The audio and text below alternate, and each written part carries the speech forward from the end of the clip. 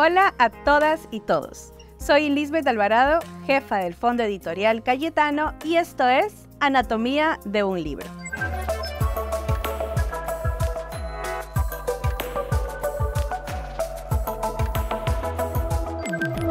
El cine y la literatura y viceversa han estado estrechamente vinculados desde siempre.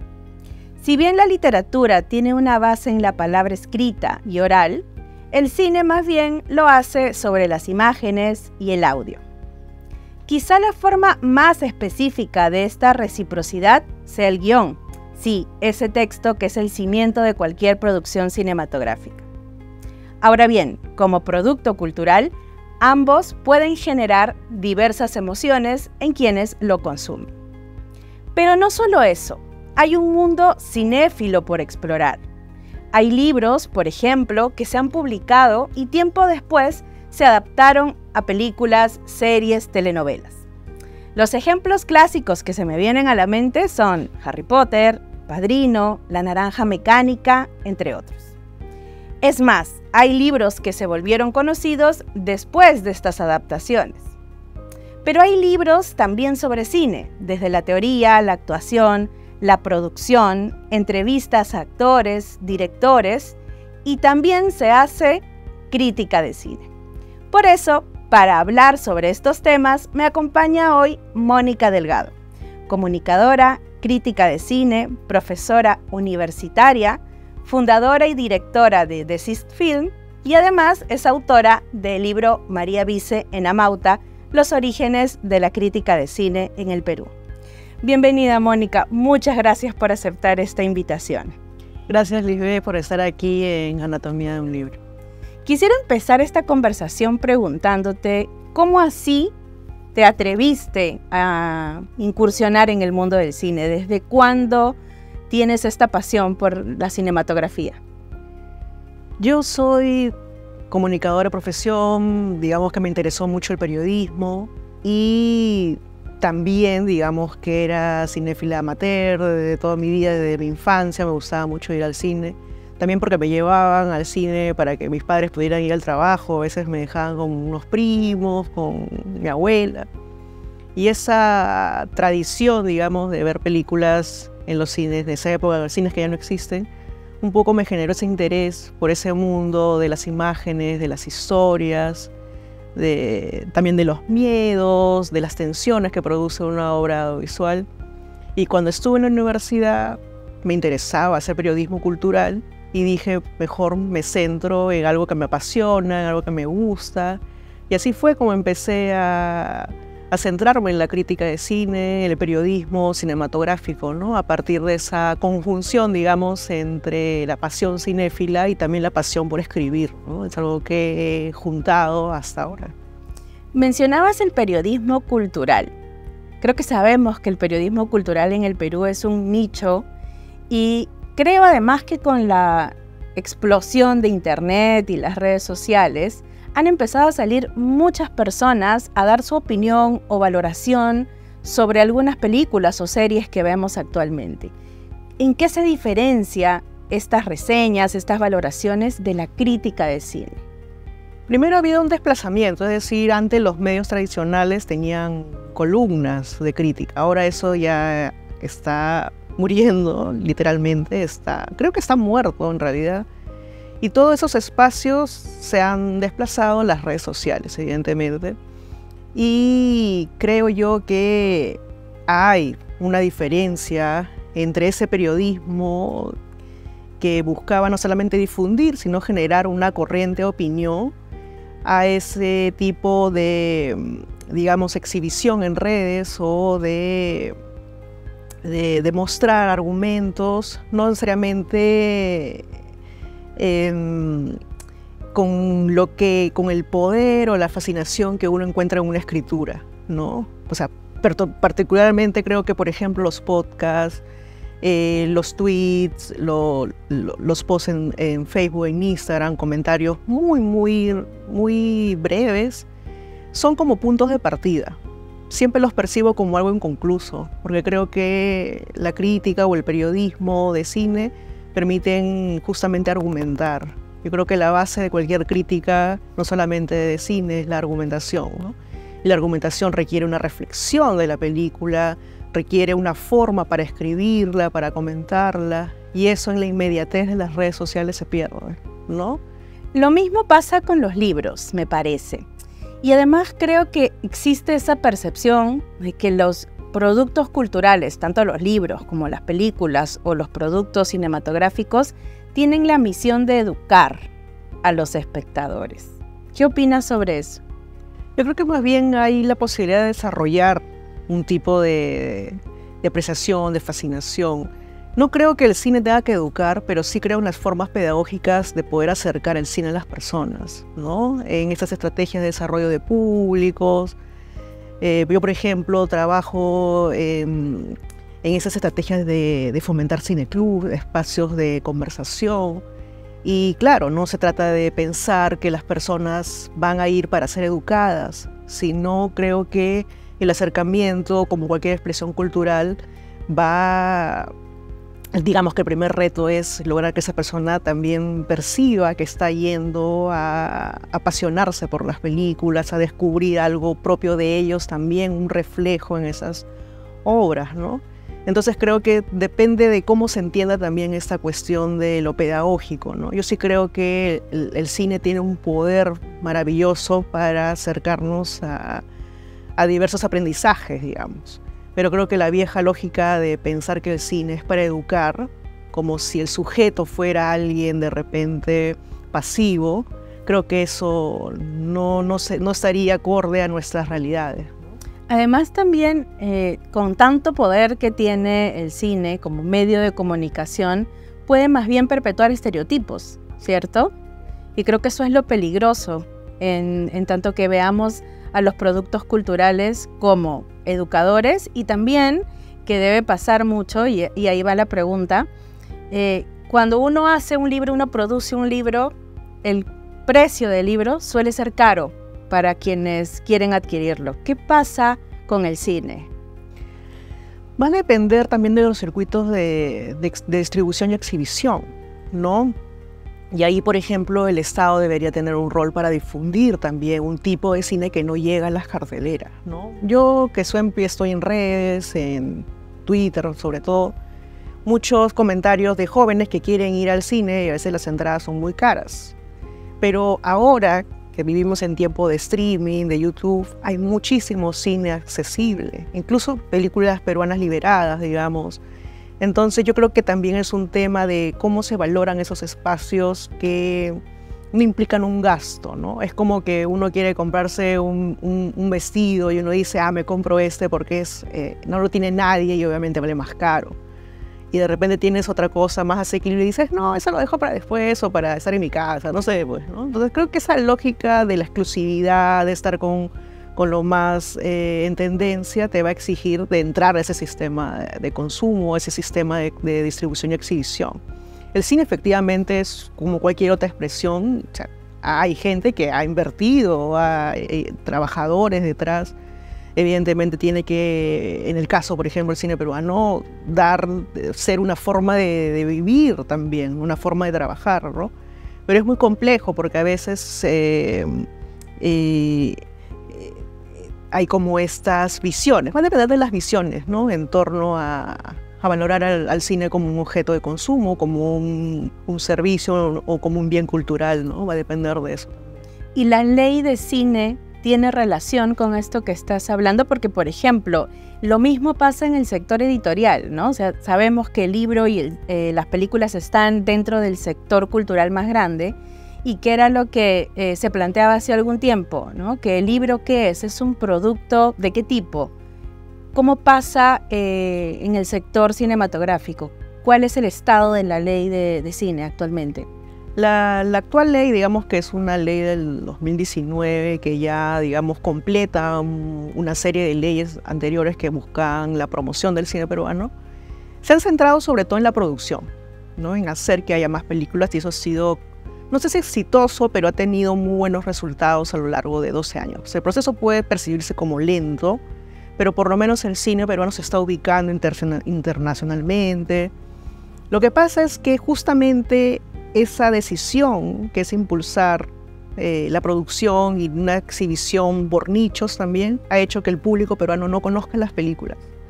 Entonces creo que una segunda fase de ese proceso de promoción es que las películas puedan llegar a las escuelas, universidades, y eso implica justamente algo que no está en la ley explícito, ¿no? Está mencionado, ¿no? Pero creo que es algo que es una deuda, digamos, ¿no? De, de que las películas que tienen presupuestos o fondos del Estado puedan también ser eh, parte de un sistema de exhibición en comunidades, en distritos, municipios, universidades. Creo que eso podría ser como una buena sinergia, digamos, para que el cine peruano pueda llegar a más peruanos. ¿Consideras que es difícil hacer cine en el Perú y también hacer crítica de cine? Sí, es difícil, ¿no? Sobre todo si pensamos en con cuánto hacen películas los cineastas o tanto hombres y mujeres o disidencias en el Perú, ¿no? Eh, el Estado brinda anualmente 200 mil dólares por película ganadora. Digamos que ganan 6, 5, 6 películas al año. Y uno dice que ese fondo es insuficiente si uno lo compara con los presupuestos de cualquier película independiente en Argentina, Chile, Colombia, digamos, que son eh, que también tienen ese tipo de fondos para las películas, y uno dice, wow, ¿cómo es que estos cineastas hacen obras con tan poco presupuesto? Hay críticas en contra del cine peruano que piensan que esos 200 mil dólares son, pues, wow, una fortuna, pero en realidad son montos muy precarios. Y hay películas como Wiña y Pacha, como Manco Capa, em, o Rosa Chumbe que se han hecho incluso menos de esos 200 mil dólares y que han eh, terminado siendo obras sumamente importantes para el cine peruano. ¿no? En cuanto a lo que mencionas de la crítica, sí, totalmente, porque la crítica no es un, digamos, un trabajo que, o sea, no existe una demanda por la crítica, nadie se muere por tener un crítico en su, en su planilla, ¿no? Y en realidad la crítica suele ser, eh, no lo quiero llamarlo como un apostolado, pero requiere un compromiso, ¿no? Yo, por ejemplo, escribo mucho, pero lo hago porque me nace, digamos, ¿no? O sea, la revista que fundé de Six Film, como todo grupo de críticos, se autosugestiona y permite sobre todo aportar, ¿no? A que no se pierda esa visión crítica de las películas, ¿no? Pero en realidad es, es, es difícil porque también es una labor muy poco reconocida hay cineastas que dicen, ¿quiénes son esos? O, con, pues, nunca han hecho una película en su vida y vienen a criticar mi película. Entonces es una profesión muy subvalorada. Lo mismo que pasa en el sector editorial, tal cual, ¿no? Los críticos de, libros tienen eso mismo que acabas de decir, ¿no? Son muy pocos, no es que los requieran, pero a la vez son útiles, ¿no? Para los lectores, para los medios, o bueno, ahora para los propios medios de comunicación que se están creando, digamos, a nivel personal. ¿Hay alguna película peruana que tú dirías que es una obra maestra? No sé si obra, a veces siempre juego con el término porque digamos que es como eh, buscar la perfección o pensar que hay algo perfecto. Incluso yo siempre digo en Twitter, no, no existe ninguna obra maestra peruana, pero es como una frase provocadora. Yo creo que hay películas eh, sumamente interesantes. Por ejemplo, em, La teta asustada, ¿no? De Claudia Llosa me parece una película brillante en la medida de que propone una lectura histórica del conflicto armado interno desde un personaje que ha sufrido de manera indirecta la violencia. Y creo que eso es algo que refleja muy bien la situación actual del Perú. Es una película del año 2012, ¿no? Y sigue totalmente vigente en cómo leemos la violencia. A veces pensamos que la violencia es algo que nos está en la cara, pero la violencia es una huella, ¿no? Es algo que está en nuestra forma de relacionarnos, de convivir, tanto políticamente, socialmente, incluso en la misma economía. Lo vemos todo el tiempo en nuestra realidad.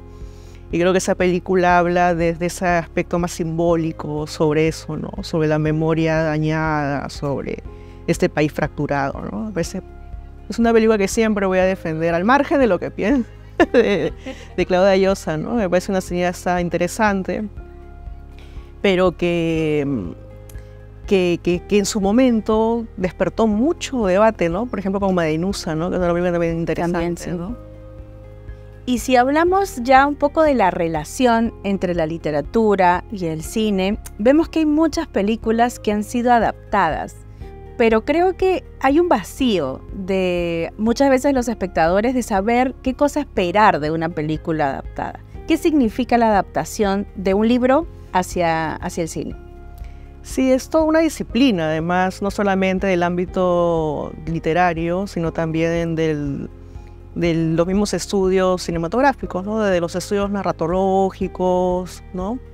Yo creo que más bien no me gusta mucho el término de adaptación, en realidad me gusta más bien como esa idea del traslado, la idea de, del pasaje. Incluso hay una tesis de hace algunos meses de un estudiante de literatura que sacó sobre Armando Robles Godoy, sobre, tú sabes que Armando Robles Godoy era gran, un gran escritor, y por ejemplo varias de sus novelas, él mismo las adaptó al cine. Es un estudio sobre esas adaptaciones, pero este autor, eh, eh, habla, este tesista, digamos, habla de la idea del pasaje. ¿no? Entonces ese concepto me, interesa, ¿no? Porque uno no va a esperar lo literal, no, no, no, no espera que, que todo sea tal cual, porque si no, no tendría gracia. El cine tiene un lenguaje propio y creo que las mejores obras que yo siento que, son interesantes no son las, las que adaptan de manera fiel, sino que recuperan ese espíritu, ¿no?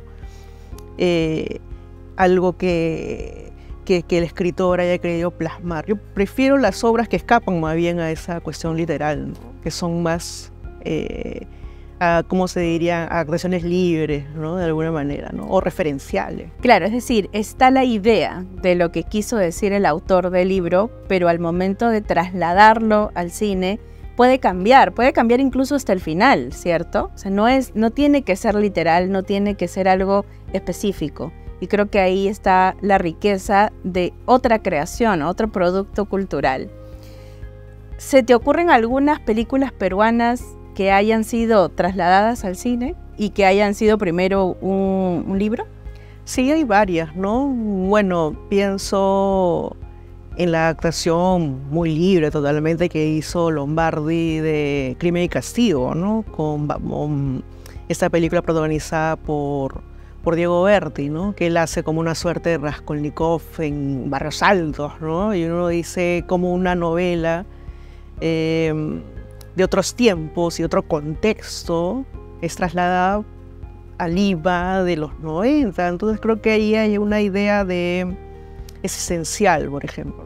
Entonces creo que ahí, bueno, Lombardi es un cineasta que ha adaptado varias obras peruanas, eh, los perros, los clásicos, eh, Pantaleón y las citadoras, ¿no? Pero en la actualidad hay mucha eh, muchas películas que se han adaptado, novela de Santiago Roncagliolo, Leonzo Cueto, que han sido llevadas a las pantallas, El Mundo para Julius también. que claro, de Bryce. Magallanes me parece también. Magallanes también. Incluso no solamente, digamos, novelas o cuentos, sino también ensayos, ¿no? O testimonios, ¿no? Sé que, por ejemplo, Lucho Llosa ha llevado a la pantalla ese testimonio de Lucho Gavilán, por ejemplo, ¿no? Que imagino le estrenarán eso el, año que viene, ¿no? Entonces creo que eh, sí hay bastante materia, digamos. Claro, debería ser más, ¿no? O autoras mujeres también que sean adaptadas. Obras de autoras mujeres. Me gustaría ir un momento, regresar a lo que estábamos hablando antes sobre los tipos de público y las películas peruanas que eh, van sucediendo, se van presentando. Parece, no sé si es una percepción, eh, que el mercado peruano está mucho más abierto a la comedia y a esta comedia eh, tipo Carlos Alcántara. ¿Qué opinas? ¿Realmente es así? Sí, porque lo que pasa es que el cine comercial peruano está muy ligado a determinados imaginarios televisivos. Eh, es muy difícil encontrar una comedia autónoma que explora, digamos, el género de la comedia desde el, desde el cine en sí, ¿no? Pienso, por ejemplo, en esta película Todos somos estrellas de, de, mm, de cineasta que murió hace poco. Em, bueno, en esta película hay una sátira a la televisión, ¿no? Y creo que esa sátira la, televisión funciona como algo metadiscursivo con relación a lo que pasa con la comedia peruana ligada a ese estilo televisivo. Los actores son los mismos los, y las historias también son muy, eh, muy poco originales, pero sí entiendo que hay como una necesidad de mostrar cosas que otros universos cinematográficos no abordan. Por ejemplo, No Media Solterona, Soltera Codiciada, soltera, casada, divorciada, etcétera, manejan imaginarios de las mujeres entre 30 y 40 años, independientes, trabajadoras, eh, que no están pensando en, modelos tradicionales, ¿no? Y creo que eso sí habla de una determinada tendencia en un tipo de cine comercial, ¿no? Por ejemplo, creo que el modelo de Carlos Alcántara en Asumare, que fue un éxito innegable, ya caducó. Y más bien ahora estamos en esta de las comedias dirigidas por mujeres, sobre mujeres, obviamente, se habla de mujeres, habla de hombres, entonces creo que está en esa otra lógica, ¿no? del cine comercial, que no lo veo como algo negativo, sino como mm, de repente un tipo de, de, digamos, de encuentro con este público en general que le interesa la comedia de todo tipo, ¿no? ya sea comedia de Estados Unidos o de México, que es todo un tipo de comedia muy vista también en Netflix y además porque hay algunas eh, adaptaciones también, ¿no? De otras películas que han sido producidas en la región y que luego viene el formato y se hace aquí en, Perú. ¿Cuál dirías que a nivel, sobre todo Latinoamérica o regional, cuál dirías que es el cine que tiene una mejor producción cinematográfica? Bueno, el cine argentino es sin duda el más importante. Incluso en estos días se está debatiendo una no sé si debatir, pero sí hay una clara defensa sobre los fondos y sobre las instituciones que garantizan esos fondos a partir de algunas leyes del nuevo gobierno. Incluso hoy creo que, bueno, en estos días ha habido muchos reclamos, muchas adhesiones de cineastas internacionales apoyando la subsistencia de estos recursos, ¿no? Pero sin duda el cine argentino es el más novedoso, el más creativo, el más, en todo sentido, incluso el cine comercial, ¿no? Y la revista Calle Cinema nombró el año pasado como mejor película de todo el año una película argentina. Entonces creo que es un cine que también es un, un, buen referente para el cine peruano en cuanto a apoyo. pero claro, ¿qué nos diferencian? En que en Perú no tenemos escuelas de cine, fondos de ese tipo. Entonces, digamos que de alguna manera sirven de inspiración en todo sentido. Y para terminar, Mónica, eh, háblanos de tu libro, María Vice en Amauta, los orígenes de la crítica de cine del Perú. ¿Por qué hablar de María Vice y por qué además es tan importante rescatar este nombre en un contexto patriarcal en el que vivimos? Sí, María Vice fue una mujer muy polifacética, creo que es un un tipo de mujer em, que de alguna manera encarnó determinados proyectos culturales, sociales, y en este caso en torno a las mujeres, a inicio del siglo XX. ¿no? Me interesó mucho su ángulo, de, su ángulo de cómo ella valoraba la cultura, ¿no? digamos en un sentido muy amplio. Ella hizo crítica de cine, hizo crítica de música, crítica cultural, literaria también. Era periodista, dramaturga, cuentista, eh, poeta, entonces me pareció una, una mujer sumamente reveladora que, también me permite eh, medir cómo era la sensibilidad de su tiempo. ¿no? Entonces esta investigación que realicé hace algunos años como parte de, estudios de pregrado, me interesó también porque eran textos que estaban en Amauta, ¿no? en la revista de José Carlos Mariátegui, y que era una revista avanzada, una revista con determinados imaginarios políticos y María Vice entró también en ese círculo de escritores y periodistas para hablar un poco de, cómo ella percibía el cine de su tiempo. Y eso fue lo que más me interesó de ella y por eso como crítica necesitaba también buscar esos referentes de mi propia labor em, en los textos que ella hacía, ¿no? fue sumamente eh, evidencia de este modo de comprender al cine en estos tiempos de cine temprano. Y hace poco se ha publicado un libro también donde se menciona a la poeta Blanca Varela como eh, crítica. ¿Esto es cierto? Sí, Blanca Varela escribió varios artículos de la revista Oiga en los años 60 y es una compilación interesante porque permite ver también, bueno, ella firmaba como Cosme, usaba un seudónimo y permite también eh, otra visión, reconocer otra visión en medio del periodismo cultural de esos años a una poeta interesada en escribir sobre cine, y este libro, digamos, que también es una invitación para que otras personas puedan investigar sobre esos textos, ¿no? que sería interesante también abordarlo de esa manera. Muchas gracias, Mónica, por tu tiempo y por esta entrevista. Gracias a ustedes por la invitación. Bien, amigos y amigas, ha sido un placer poder hablar con Mónica sobre estos temas y solamente me queda decirles que se suscriban al canal porque tenemos muchos contenidos para divertirnos, para aprender y para también pasarla bien. Y no se olviden, lean mucho, lean poco, pero lean.